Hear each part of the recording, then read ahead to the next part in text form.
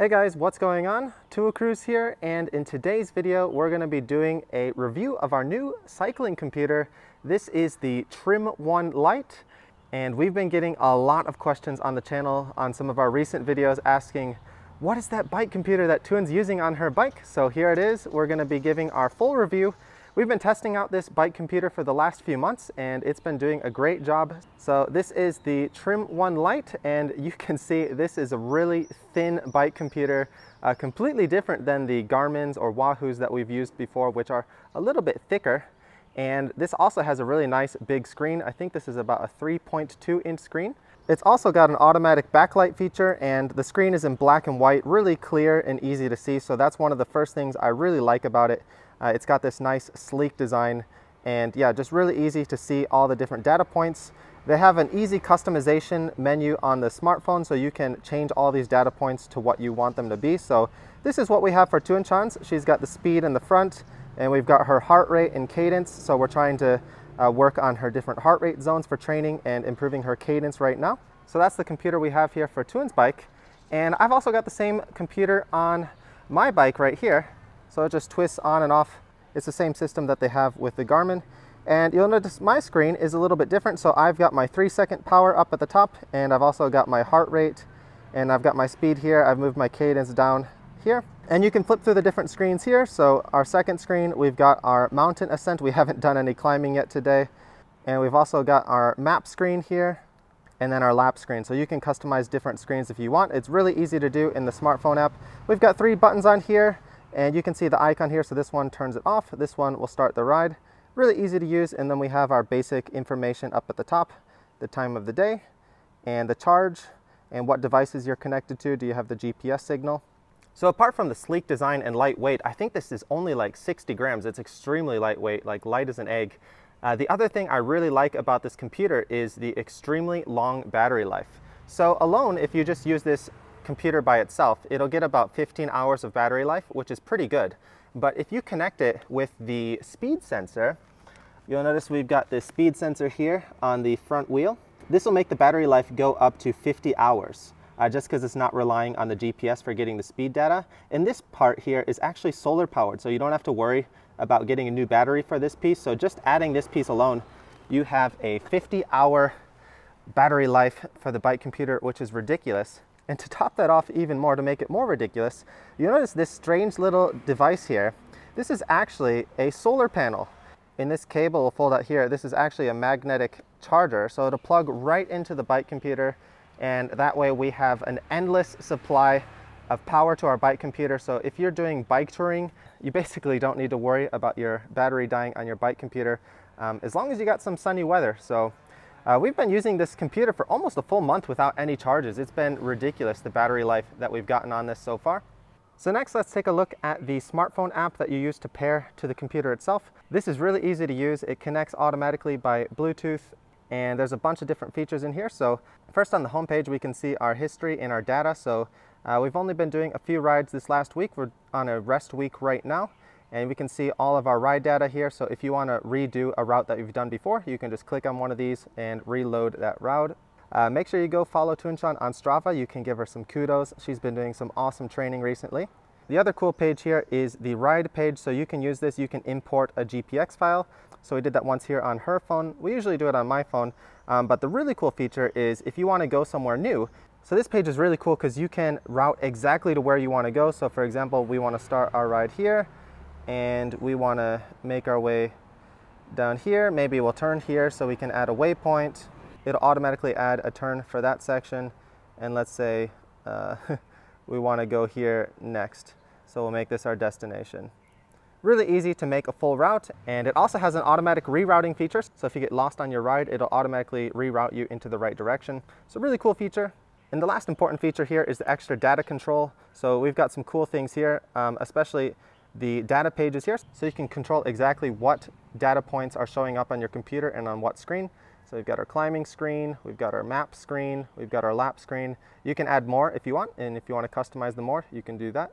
Another cool feature is it has an offline map cache. So if you don't have any data on your phone, you can download the local map and you don't have to worry about not having access to the maps. And it also does have Strava live segments now if that's something you like to do on your ride. All right, that's enough introduction. We're gonna continue this review out on the road. Let's go. All right, here we are starting our ride. Riding along the busy streets here in Chiang Mai, Thailand. And this is what the handlebar setup looks like. I'll try and angle this lower right now so you can see the full handlebar setup. And yeah, busy traffic area here, so not gonna be looking at the computer screen too much right now. So we're starting our ride here in the downtown area of Chiang Mai. We're gonna be riding out to the more uh, countryside, quiet areas. I think we're gonna be doing a two, two or three hour ride today. So we'll be testing this along the way. But yeah, going on to overall impressions of this bike computer. We've been using this bike computer for most of this year so far, so over two months now, and it's been performing like a champ. It's really easy to use and it's been really exciting for Thuong Chan to have her own bike computer. And she's really excited. After we finish every ride, she connects her phone, uploads her route to Strava. And yeah, she's been having a lot of fun using this bike computer. Oh man, that car about to run that guy over. You gotta be extra careful when you're riding in the city like this. Don't wanna spend too much time looking at your computer. You should only do that when you're riding in a more safe area when there's not too much traffic around you. So we're gonna be riding in the city traffic for a few more minutes. So I'll check back in a little bit later on the ride. We'll see how the computer's doing. All right, here we go. This is a lot better. Check out these beautiful country roads. So this is where we're gonna be continuing our ride. And just a quick check-in, we've actually been riding for uh, quite a little bit. We've been riding about 34 kilometers and about an hour and a half of ride time. And you can see my computer is still at 100%, which is pretty awesome. All thanks to this solar charger and to the front speed sensor. So let's take a look at Thuong's bike. And on Thuong's computer, she's only using the front sensor. She doesn't have the solar attachment right now. So she's gone down to 97%, so about 3% over an hour and a half of use. Well, that's ride time. We've, we've been out here a little bit longer, like filming, so the computer's been on over two hours, I'm sure. Oh, hers actually shows the temperature. So you can see it is ridiculously hot outside right now. Do you, do you like the hot weather, Thuong? No, No. is uh, It was 42 before? yes, Oh, that's in the direct sunlight. so hot. So hot. I was about to think it's a little bit cooler because we're in the shade right now. Um, so anyway, we're going to continue on with our ride, giving our impressions on these bike computers. Let's go ahead and continue. Let's go. Let's go.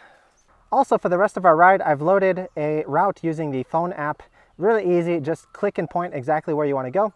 And the really cool thing about this is it has this corner here, which has the arrows telling you which direction you need to go and how far the next turn point is. So we just need to keep going straight on this road for right now. Okay, back on the road and beautiful country roads here. So when you're living in Chiang Mai and cycling here, the center of the city is pretty busy actually. There's a large amount of car traffic and the roads can be pretty nasty, pretty congested, but the really nice thing about living here is there's a lot of roads like this right off of the main roads. You don't have to go very far from the center of the city and you can get to this nice paradise. No cars, nice rolling hills, winding turns, and nice shady course. So that's the other nice thing about this computer is just with the large screen, you have all the information that you want and it's just really simple design. You can focus on your ride. You can just focus on your ride without having to like stare, dig through your computer. And yeah, just look down quickly. I can see all the information, exactly what I want to see. As for the price of this computer, I believe this model is just under $200. They have two different versions of this computer. One is the regular one and one is the light. I think the regular one, it's a little bit more expensive. It's made from metal, slightly heavier. Uh, they have some different colors. Um, but this one, it's a little bit lighter. It's made from plastic, still plenty durable and yeah, a bit cheaper. So you can get a nice decent GPS computer for under 200 bucks. It's a pretty solid deal. And yeah, I haven't felt like anything is really lacking with this computer. It does have some more advanced features like It can connect to all of your Bluetooth ANT+ devices. So I've got my power meter connected. Uh, we both have our heart rate monitors connected. Thuong has a cadence sensor connected. So we've connected a whole bunch of devices, no problems. Uh, of course, it's going to connect to your phone as well. So depending on the person, uh, this could be a limitation or just could be normal is uh, this computer, it does rely on your cell phone a lot. So especially for like the, the navigation and stuff, you want to make sure your phone is connected, especially when you finish and save the ride. Um, it uses the phone for a lot of the processing power. So uh, for most people nowadays, you, you bring your phone on every ride. So it's not a big deal. So I think that's not an issue for most people. And yeah, a lot of the advanced controls are gonna be on the phone. So if you wanna route somewhere, you're not gonna be able to do that with the computer itself. You need to use your phone and plug in exactly where you wanna go. So I think that's pretty standard with a lot of devices now though. It does have some other advanced features like Strava live segments. So I really like using those when I'm doing my like KOM hunting or uh, training, just wanting to track how fast I'm going. So it's nice to be able to have that live information on here. I don't think they have a full custom screen for it though. I think it's more of like a pop-up kind of window and you can't really control it. But again, Trimm is still a fairly new uh, company in the bike computer industry. So for this being like their first entry point into the market, I'm pretty excited to see like future versions of their computers as they make improvements, as they take in rider suggestions. So that's another good thing. Uh, I don't think I mentioned yet, they're based out of Korea.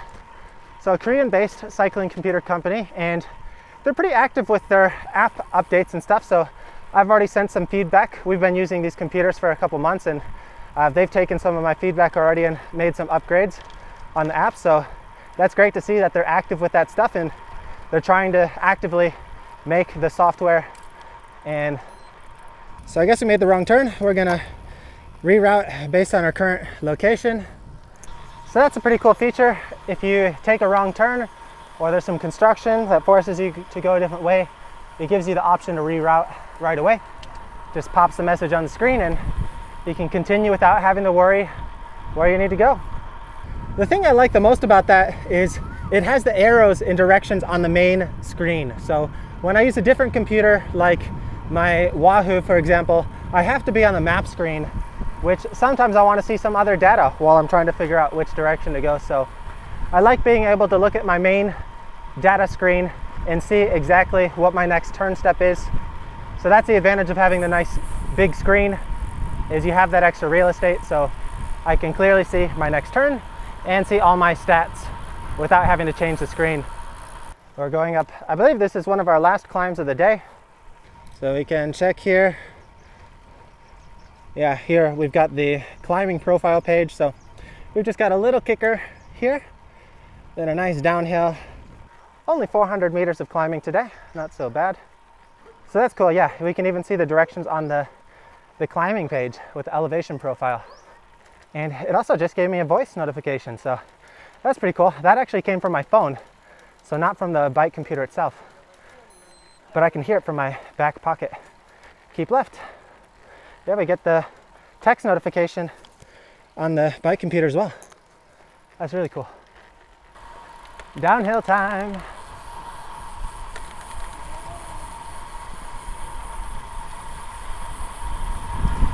We got a sharp left here. That's showing on my screen, which is nice. No surprises.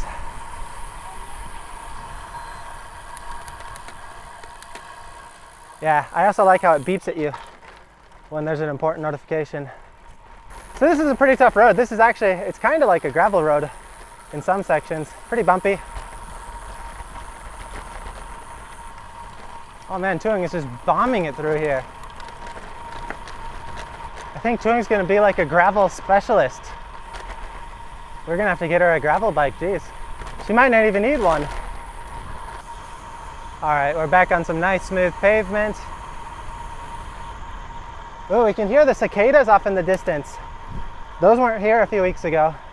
Definitely a sign that summer is here. So our next turn, 1.4 kilometers, we're turning right.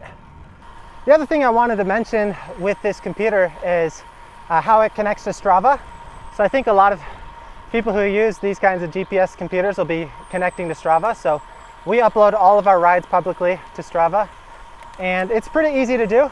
So I have mine on automatic uploads. So I've just connected my Strava account to my Trimm account. So whenever I finish my ride, I connect my phone, it'll automatically upload to Strava. Uh, Thuong does hers manually. So she just clicks on the activity and her history page and she can click upload to Strava. So you can do either way, whichever is easier for you. Um, but there is one sort of issue I've had with this that I wanted to mention, and that is with the elevation profiles. So you'll notice sometimes on our rides on Strava, when Thuong is riding with this computer, and I've been riding with another computer like my Wahoo, our elevation profiles have been different. And the reason for that is just because the way that this computer processes the data, it isn't the exact same way that it processes the data on Strava. So uh, whenever you take like a break or stop, it resets the elevation point and the elevation will be accurate in this computer itself, but just because of the way the data is recorded and the way that Strava operates, it sort of adds an extra amount of decent climbing on your ride. So uh, when we've done similar rides, like I'd climb like 800 meters, but on Thuong's account on Strava, it would show that she climbed like 900 meters or 950 meters. So sometimes 100 meters more. Um, I mentioned this issue to Trimm, so I hope they're gonna get this fixed in a software update in the future uh, or try and communicate better with Strava. So right now when we upload our rides to Strava, the elevation uh, profile isn't 100% accurate, but when you check it on the computer itself within the Trimm ecosystem, it is accurate. So uh, that's just something to be aware of right now and hopefully an issue that should be easily resolved by them. And with the amount of software updates they're doing, I think they should be getting on that pretty quickly. But other than that though, I don't have any complaints about this computer. I really like it. Uh, we get a lot of comments on it actually. So whenever we go to like a bike shop or a ride, people look over at our bikes and be like, what's that? Because they've never seen one that looks like it. Turn right. Oh, that's awesome. It gives you the name of the road. So it says turn right onto 1269. That's this highway name. That's really cool. All right, we're in the final highway stretch of our ride. We take this one back to the canal road, back home. I think we're gonna stop up here at the convenience store, get some nice cold drinks. So let's check back in over there. 7-Eleven time. Here we go. This is our set combo. Yeah. Some water, Yeah. some chocolate, some Snickers. And this is like a green tea lemon soda honey lemon. Yeah, it's actually pretty good. Nice and refreshing during a hot ride. So we're gonna wrap up this video here and we're gonna enjoy our little snack break here at the convenience store. But we wanna say a special thank you to Trimm for sponsoring today's video. Um, we've had an awesome time testing out the Trimm One Lite over the last few months and we're gonna continue using these bike computers on our bikes moving forward. It's also pretty amazing that we've done a two hour ride. This computer's been on for over two hours and the battery life is still 100%. That's pretty ridiculous to see. So pretty awesome battery life on this computer. So if you're interested in getting one of these for yourself, go check them out. We'll leave the links down below so you can go check them out. And we also want to say a special thank you to all of our awesome supporters over on Patreon. Thanks to your guys' support, we're able to continue filming cycling videos here over in Thailand and pretty soon we'll be heading over to Vietnam. We'll be making an announcement about that pretty soon on the channel, so lots of exciting things coming up. That's it for today's video though. We'll see you next time here on Wheel Cruise. Bye bye.